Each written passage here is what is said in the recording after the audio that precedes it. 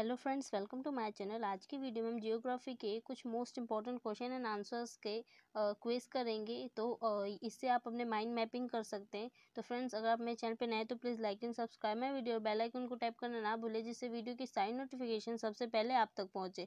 तो friends start करते हैं फ़र्स्ट क्वेश्चन फ़र्स्ट क्वेश्चन है, निम्नलिखित में से कौन पृथ्वी की परिधि का निर्धारण करने वाला पहला व्यक्ति था? ए प्लेटो बी अरस्ट सी एराटोस्थनीज या डी टॉलमी थर्ड यूरगेट गेट्स तो फ्रेंड्स करेक्ट ऑप्शन है सी एराटोस्थनीज हमारा करेक्ट ऑप्शन हो जाएगा। नेक्स्ट क्वेश्चन है, निम्नलिखित में से कौन सा राज्य भारत का एकमात्र हीरा उत्पादक राज्य है?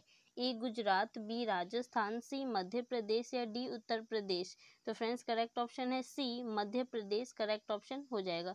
फ्रेंड्स पहले आप खुद करो देन मेरे आंसर से आप रीचेक करो और आप पता करो कि आपके कितने में से कितने फिफ्टीन टोटल फिफ्टीन क्वेश्चन मैं क्यूज क्विज कराऊँगी। और उनमें से आप देखना कि आपके टोटल कितने सही जाते हैं और मुझे कमेंट बॉक्स में कमेंट करके ज़रूर बताइए। तो फ्रेंड, नेक्स्ट क्वेश्चन है, बयाराम खान क्षेत्र जो हाल ही में खबरों में था, डैश में स्थित है। कहाँ स्थित है फ्रेंड्स? ए, आंध्र प्रदेश में, बी, कर्नाटक में, सी, तमिलनाडु में या डी, मध्य प्रदेश में? तो फ्रेंड्स, करेक्ट ऑप्शन है ए, आंध्र प्रदेश में स्थित है। नेक्स्ट क्वेश्चन है, लूनी नदी जो लवनावरी नदी भी कहलाती है, निम्नलिखित में से किस श्रेणी से निकलती है?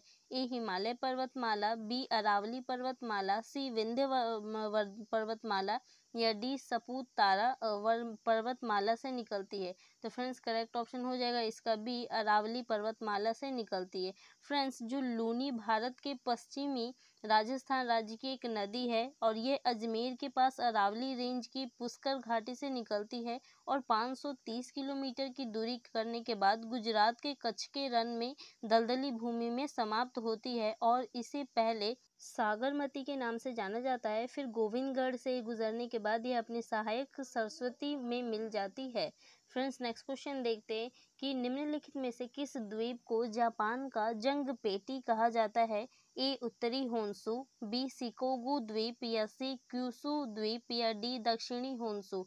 तो फ्रेंड्स करेक्ट ऑप्शन हो जाएगा इसका बी सो सिकोगु द्वीप से निकलती है। नेक्स्ट क्वेश्चन है कि निम्नलिखित में से कौन सा खनिज कैल्शियम और मैग्नीशियम का कार्बोनेट है?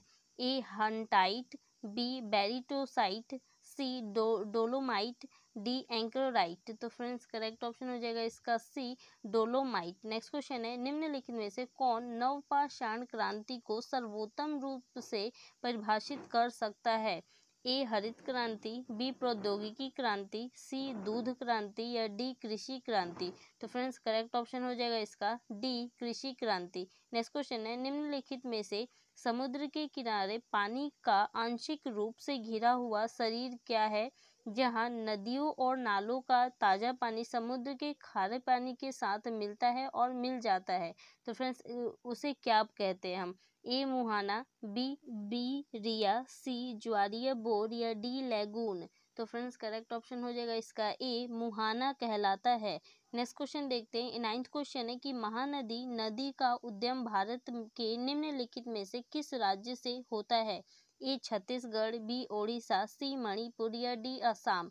तो फ्रेंड्स करेक्ट ऑप्शन हो जाएगा इसका। ए छत्तीसगढ़ छत्तीसगढ़ की राज्य से ये होता है। नेक्स्ट क्वेश्चन है टेंथ क्वेश्चन कि निम्नलिखित में से कौन सा नदी भारत में सुपर इमो इम्पोज ड्रेनेज सिस्टम का एक उदाहरण है? A Ravi, B Narmada, C Ganga या डी चंबल? तो फ्रेंड्स करेक्ट ऑप्शन है इसका। डी ऑप्शन चंबल एक इसका उदाहरण है। नेक्स्ट क्वेश्चन है, इलेवेंथ क्वेश्चन कि विश्व के कुल भौगोलिक क्षेत्रफल का कितना भाग भारत से आच्छादित है? A one point four percent, B two point four percent, C three point four percent या D four point four percent? तो फ्रेंड्स, करेक्ट ऑप्शन है B, two point four percent आच्छादित है। नेक्स्ट क्वेश्चन है कि चांदीपुर मिसाइल परीक्षण range dash में स्थित है, कहाँ स्थित है? उड़ीसा में, आंध्र प्रदेश में, केरल में या पश्चिम बंगाल में? तो फ्रेंड्स करेक्ट ऑप्शन है इसका ए और उड़ीसा में स्थित है चांदीपुर मिसाइल परीक्षण रेंज नेक्स्ट क्वेश्चन है, किस राज्य सरकार ने राजीव गांधी राष्ट्रीय उद्यान का नाम बदलकर औरंग राष्ट्रीय उद्यान कर दिया है? A Delhi B Paschim Bangal C Assam या डी उत्तराखंड? तो फ्रेंड्स करेक्ट ऑप्शन है इसका सी असम में उद्यान कर दिया. नेक्स्ट क्वेश्चन है कि भारत में सबसे लंबी तट रेखा किस राज्य की है? A, Andhra Pradesh, B, Maharashtra, C, Gujarat या डी, पश्चिम बंगाल? तो फ्रेंड्स, इसका करेक्ट ऑप्शन है सी, गुजरात की जो तट रेखा है वो सबसे लंबी तट रेखा है। नेक्स्ट क्वेश्चन है कि निम्नलिखित में से कौन सा देश कुल भौगोलिक क्षेत्रफल की दृष्टि से भारत के सबसे बड़ा नहीं है?